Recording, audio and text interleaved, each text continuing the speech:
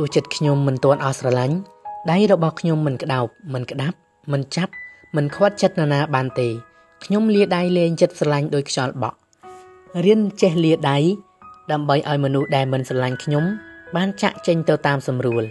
បើចិត្តគេគង់តែមិននៅ គួរតែឲ្យគេទៅ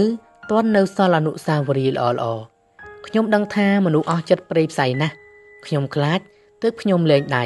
ខ្ញុំខ្លាចទើបខ្ញុំរត់ចេញ ខ្ញុំចង់សក់ក្រោយគេទៅទើបខ្ញុំមិនខ្វល់ពេលគេទៅព្រមឲ្យគេទៅមុនរឿងហេតុអាក្រក់នឹងកើតឡើង ប្រាប់ខ្លួនឯងដល់ពេលហើយទើបគេទៅ បើចិត្តគេនៅគេមិនទៅទេ តែបើចិត្តគេលែងនៅកុំខាត់កាយដែលមានតែទង្វើដែលធ្វើឲ្យយើងឈឺខ្លាចឈឺកុំចាប់ចិត្តដែលដោះបន្លាឲ្យគេទៅចោះអត្តបទអ្នកនិពន្ធរតនា